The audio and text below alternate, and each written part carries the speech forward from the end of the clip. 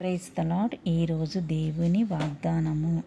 కీర్తనలు పద్దెనిమిదో అధ్యాయం ఆరో వచనము. నా శ్రమలో నేను యెహోవాకి మొర్రపెట్టి తిని నా దేవునికి ప్రార్థన చేసి తిని ఆయన తన ఆలయంలో ఆలకించి నా ప్రార్థన అంగీకరించని అని భక్తుడు ఇక్కడ సెలవిస్తున్నాడండి. ప్రియులారా దేవుడు మన శ్రమల్లో మన దే మన ప్రార్థన ఆలకిస్తాడు. అయితే తన ఆలయానికి మనం ఎందుకు వచ్చామో తెలుసా? కొన్ని సందర్భాల్లో దేవుని ఆలయంలోకి వచ్చి మనం ప్రార్థన చేసినప్పుడు దేవుని ఆ ఆశ్రయించినప్పుడు చాలా అద్భుత కార్యాలు మన జీవితంలో జరిగిస్తాడండి.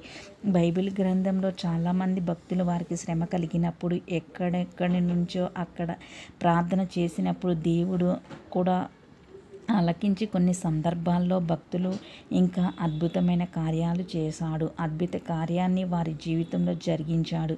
ఇజికియా రాజుకి చాలామంది చాలా కష్టం వచ్చింది శత్రువులైన అస్సూరు రాజు రబ్ రబషాషకే వాడు ప్రభావాలు పలుకుతూ పెడుతూ భయపడుతూ ఉత్తరాన్ని రాస్తాడు.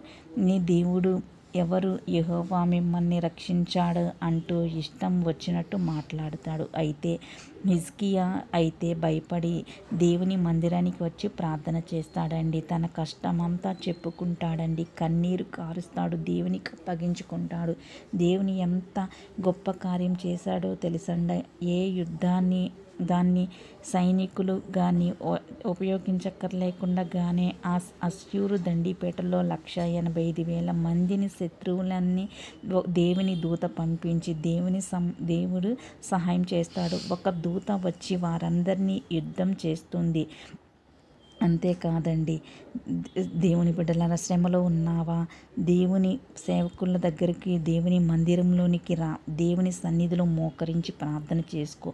నీ కష్టమంతా చెప్పుకో నీ బాధంతా చెప్పుకో. ఆయన ఆయన ఆలయంలో దేవుడు నీ ప్రార్థన అంగీకరిస్తాడు.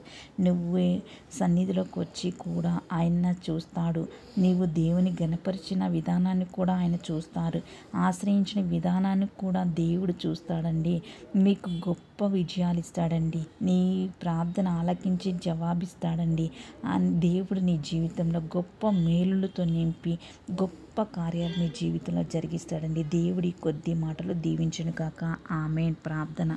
ఏసయ్యా నిత్య స్థుతులు స్తోత్రాలు రాజా. పరిశుద్ధాత్మడ ఏసయ్యా నిత్య స్థుతులు స్తోత్రములు తండ్రి. నేను ఏ బిడలైతే శ్రమలో ఉన్నారు తండ్రి ఆ బిడలకున్న ప్రతి ఒక్క అవస్థలు తీర్చండి తండ్రి. నేను నీ సన్నిధికి వచ్చి ఏ బిడలైతే మొర పెడుతున్నారయ్యా నేను ఆ బిడలకున్న ప్రతి మొర ఆలకించు తండ్రి. నాయన ప్రతి బిడల చుట్టూ నీ కృపాని కాపుదల దయచే తండ్రి. నాయన ప్రతి ఒక్కరిని దీవించి ఆశ్రవదించమని నజరుడు నేసు పుణ్యనామాన్ని అడివేడుకుంటున్నాం ఆమెన్ ఆమెన్ ఆమెన్.